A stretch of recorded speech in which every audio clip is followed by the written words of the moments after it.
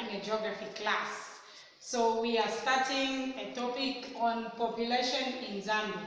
So what is population? Population is the number of people living in a country or an area. So what is this Zambian population composed of? So mainly we have Africans, we have Europeans, we have Asians, and we have colors. So now, how do they count the people in a country or in an area? So they do what we call census. So census is the official counting or enumeration of people in a country. And census in Zambia is done every after 10 years. Now, census, when you when people go to count uh, the people who are found in an area, it shows the number of people in an area, uh, when these people were born, uh, death rate, for example, if they come to a family, they'll ask how many are you, how many died in your family, so that's what death rate is. Age distribution, um, maybe those who are below five years old, how many are they? The youths, and those who are above 40, how many are they? That's what it means. Then educational distribution, how many have been in school or how many are educated in your family. Then also sex ratio, whether they are males or females in that family. And also uh, the nationality. As you know, there are times when you find uh, people from another country have come to stay in Zambia. So that's why they will need to ask which country do you come from? Or if you are Zambian, you tell them that you are Zambian. And the sign to show that someone is a Zambian, you need to have a green national registration card. Okay, now let's look at the reasons why we carry out census. So one of the reasons is to know the number of people living in an area. Now, when you know the number of people living in an area, then you will be able to provide proper social services such as schools, hospitals. So when you know that in the country the, there are 15 million people, then you'll be able to know um, how many hospitals are needed to be built or rather how many clinics are needed to be constructed. Very good. Also to know the number of people without jobs so as to create jobs. So as the population keeps on increasing, there will be some people without employment. So when the government knows that um, so many number of people unemployed, they will be able to find ways of providing employment. For example, such as by coming up with new industries or constructing new industries so that more jobs can be provided to the citizens. Very good. Also, it is quite important to know how fast the population is increasing for future planning. So if the increase rate is more, then the government can kind of relax for the future. But all the same, whether the increase is small or very high, they need to plan for the future. What do I mean? For example, there are some hospitals where you find only one doctor. This doctor is at more than 200 people. Or even clinics, you find that one clinical officer is attending 300 people, which is uh, a very sad situation because that person cannot be effective. So that's why it is quite important for the government to know whether the population of Zambia is growing at a fast rate or it is not growing. Very good. Uh, if the population is increasing or decreasing, okay, so that one was repeated in order to supply enough agricultural materials to those who need them. Okay, now let's look at uh, reasons for Zambia's high population growth. Early marriages. Most girls, especially in rural areas, get married or are impregnated before they reach marriage age.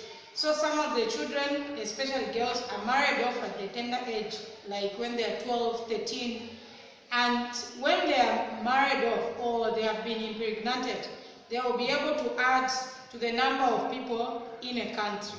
So, marrying off a child at a tender age, we should not allow. We shouldn't do. Okay, we proceed. Poverty. Most Zambians live below the international poverty line per day. This is where they fail even to have three decent meals in a day. So some women prefer to get married in order to run away from poverty. So most of the poor women have more children than those who are educated. So this is a problem.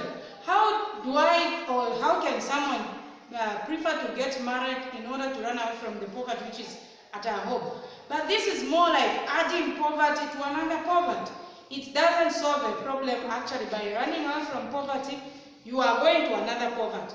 The best way is to find what you can do. Maybe you go back to school or uh, you, you start doing some business. That's how we can solve poverty, not running away from poverty and getting married. Okay, another reason that has led to the high population of Zambia is improved medical care. Most children are surviving due to more access to health centers or health care. So long time ago, children would die um, because there is no, no medicine in the clinics or in hospitals, or because the vaccines are not enough. But nowadays, because of improved health facilities, our government has put up many clinics and hospitals uh, in many parts of our country, and this has helped to increase um, the health of people. Not just children. We can take, for example, adults. Like nowadays, with the coming in of ARVs, people's lives have been saved. Long time ago, in 1980s, when they used to call it SIDA, people used to die because there was no um, medicine to boost their immunity system. But like nowadays, we have ARVs, and these ARVs are helping a lot of people, and we are surviving. Very good. Inadequate education on family planning. Most couples lack information on child spacing or natural birth controls or the use of contraceptives. So people do not have information, especially in rural areas. They lack information on child spacing. And that's why you find that in rural areas, eh, child diva, families, you find in one family there are eight children, there are ten children. But if you come to uh, cities like Lusaka or Ndola, you find that people have got maybe two children. A couple has got only three. A couple has got only four. So if people uh, have enough information on family planning, such as on child spacing or the use of uh, natural birth control methods, this will help to reduce the population increase. Okay, let's look at uh, the advantages of high population. So there is enough labor to produce goods and to provide services. When there are a lot of people in a country, you have enough people to till the land. And then you are going to have enough food. And also you have a lot of people or enough people to work in industries or to provide services such as in banks, uh, in insurance companies. Very good. Also, there will be availability of ready market for goods and services. So there will be enough people to buy the goods that you have produced, to also get the services or to buy the services that you are providing. For example, when you provide services such as education, education for no doubt, every day, or rather every moment, there are people learning. Like nowadays, because of uh, this COVID-19 uh, pandemic, people are learning through um, YouTube, through WhatsApp, which has brought actually much development in the education sector. Very good, we proceed. Uh, there will be expansion of social services like hospitals and schools. The government will know that there are many uh, people that are in the country. That is when they carry out the census. So they will need to provide the services for these people. They cannot just say, okay, the population of Zambia has improved. Ah, we just relax. But they'll need to provide the services for these people or for their citizens. So that's how it goes. Then also communication systems will improve, such as roads will be repaired and new roads have been constructed, and then new airports will be built or the old ones will be uh, repaired. Then the rail line is also improved. For example, we have seen the construction of uh, the bridge on Zambezi River in the western province of Zambia and the construction of that road. So that road is going to bring more development to the western part of Zambia. And also at our Kaunda International Airport, they have extended the airport, or rather they are constructing the new airport on the very old side of the um, Kenneth Kaunda International Airport, which means more planes will be coming to land on our international airport, and this will bring a lot of cash or a lot of foreign exchange to our country. And in that way, that money can be used to develop our nation. Very good. Now, let's move on to the disadvantages of a high population.